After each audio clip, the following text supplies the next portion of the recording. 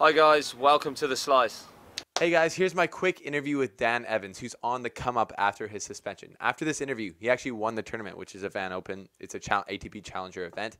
He had to qualify for the tournament, and then he ended up beating uh, guys like Vasek Pospisil to win the tournament, which was crazy. How far do you think he can go in tennis, and what do you think his all-time like you know rank could get to if he really applies himself and stays consistent? All right, Slice fans, we are here with Dan Evans. Um, coming back from a suspension off and playing really well right now. Just made it into the second round now, I guess. yeah, round. Van Open here. Um, so we started following you back in 2017 when you were having a bit of a showing out at the Australian Open. Uh, where do you feel your game is at now compared to then when you were at your all-time high ranking of 41?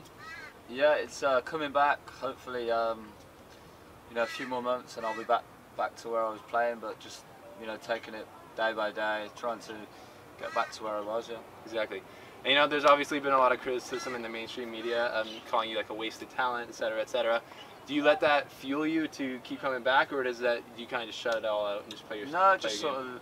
of leave all that stuff alone. Obviously, made a mistake, and now we've got to start back up again and try and get back there. Beauty. Uh, last year when you came into the Australian Open, you obviously made it to the fourth round, and you it was kind of cool that you were wearing, I thought, like an unbranded T-shirt. I don't think you had a clothing sponsor then. Is that right? Yeah, yeah. So are you are you with anyone right now? No, I'm not with anyone right now. Okay. So just just wearing whatever I like at the minute. That's sweet. It's Dan Evans' own brand.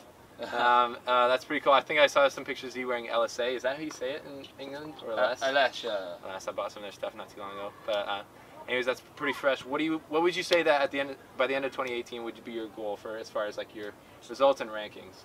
Well, I just like to be in the Australian Open qualifying. So yeah, it's um, that'd be a good start for next year to be in the Australian Open qualifying. Right on. Thanks for doing the interview, Dan. No problem. And uh, yeah, we'll see you next time. We'll see you on the court tomorrow. Cheers.